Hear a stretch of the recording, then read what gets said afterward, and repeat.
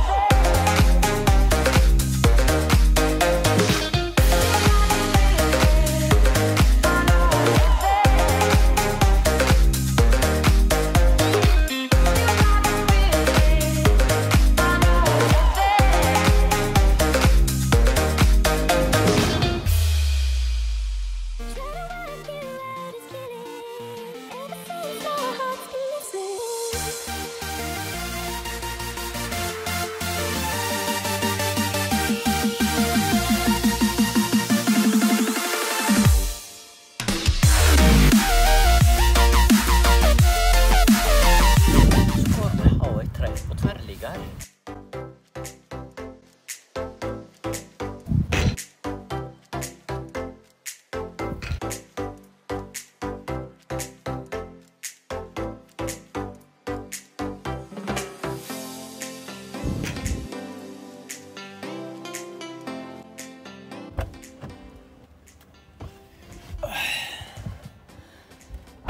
Yes, det var eh, noen klipp det fra egentreninga her på Færøyene. Så eh, begynte det akkurat å regne, så det passa egentlig ganske bra.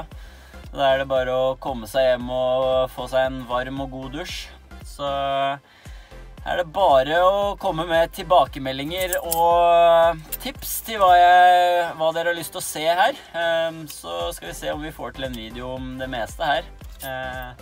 Neste oppdatering tenker jeg blir eh, litt om eh, garderober og klubbhus og leilighet og litt om fasilitetene her på Færøyene. Så er du interessert i å vite litt mer om det, så er det bare å følge med, så prates vi på neste oppdatering.